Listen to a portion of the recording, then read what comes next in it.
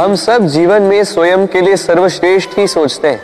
सबसे अच्छी सुविधा पाना चाहते हैं। सबसे अधिक सम्मान पाना चाहते हैं। परंतु क्या सबके लिए ये पाना संभव है? हाँ क्यों नहीं? बस, बाधा है समय।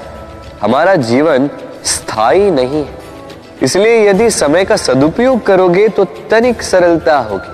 अब देखिए ना। जिसे स्वप्न देखना अच्छा लगता है, उसके लिए रात छोटी पड़ जाती।